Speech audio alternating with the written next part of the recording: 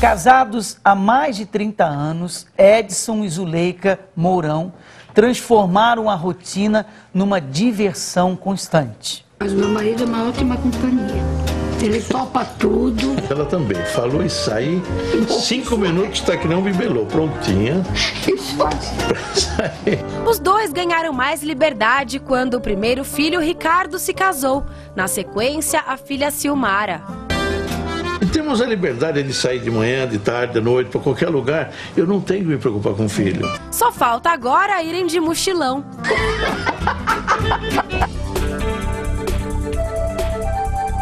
Toda vez que viajam e as viagens são frequentes, o melhor para eles é não planejar muito.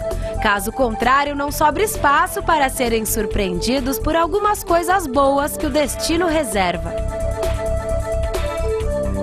Nós viajamos agora para o sul aí, dez dias, né?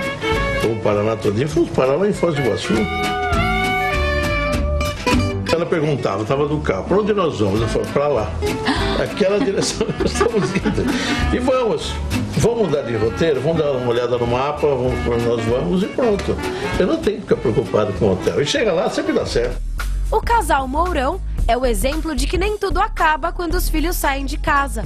Muito pelo contrário, para eles esse é o momento de aproveitar a vida. Nossa, então a gente tem que agradecer a Deus que a gente está a todo vapor. Então vamos aproveitar essa fase.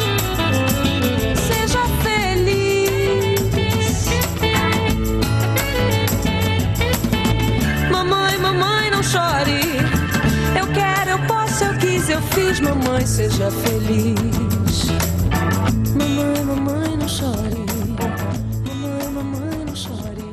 É, o casal fez aí do limão a limonada, né? Esses estão sabendo aproveitar o casamento na melhor idade, né? Enquanto tem muitos reclamando que já está muito tempo junto, que nada mais é novidade, que a idade está chegando, esses estão como um belo exemplo, E se né? dando bem, né?